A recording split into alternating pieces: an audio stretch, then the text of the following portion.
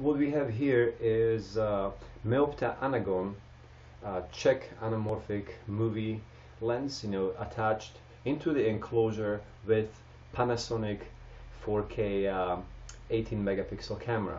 And the setup consists of the lens, uh, enclosure, camera, rails, and the handle itself. As you can see, the barrel size and the barrel size of the enclosure matches uh, right to the T, so it gives a nice kind of a lengthy look to the whole setup. Now, very, very easily, you can just open up the clamps and detach the whole camera from from the lens. What you won't see here, you know, it's a taking lens. Now this is coming right straight from uh, camera barrel into uh, the anamorphic lens attachment.